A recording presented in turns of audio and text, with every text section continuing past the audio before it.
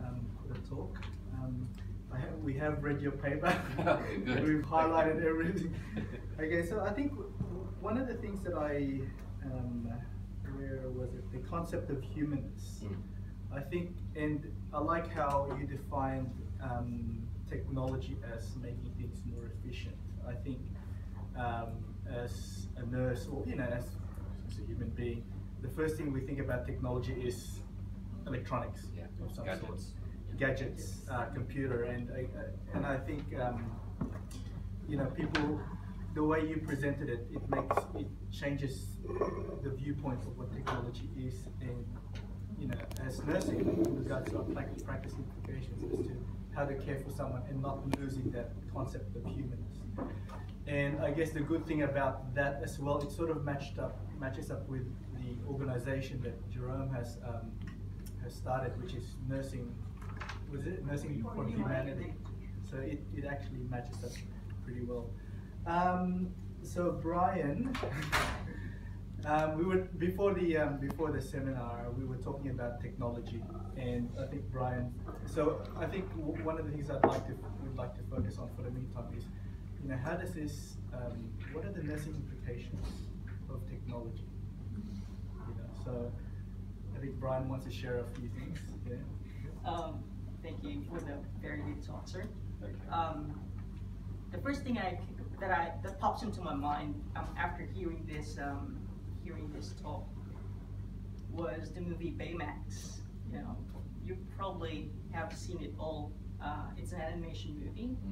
Um, it's like a humanoid sort of like bubble thingy that health assistant or health, whatever he calling himself. But so um, you know, at the other end of the spectrum, the human being asked by so many questions, which is all algorithm it annoys them.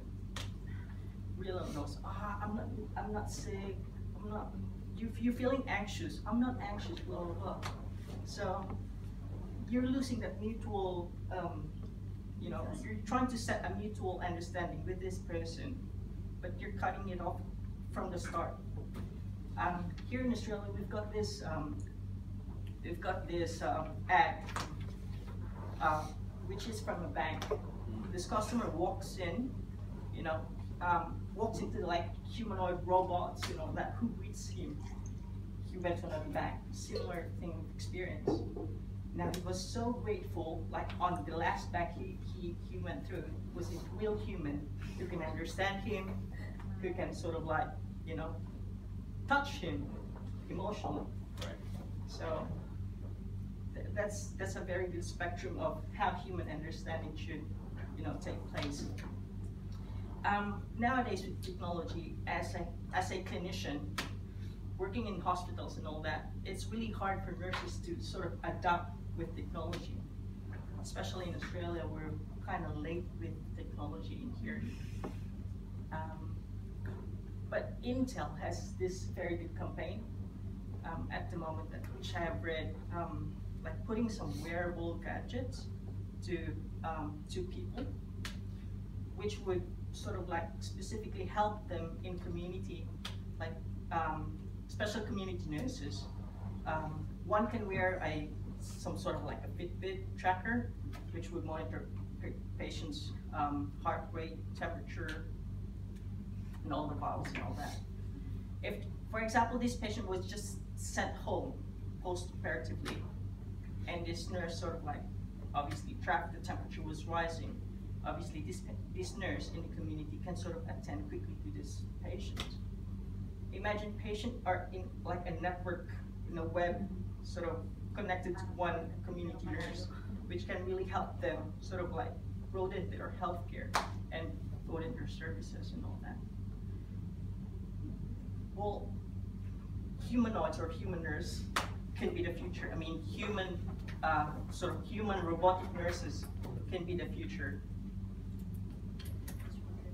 which could eliminate uh, us clinicians working in hospitals. Especially Filipino nurses. Yes.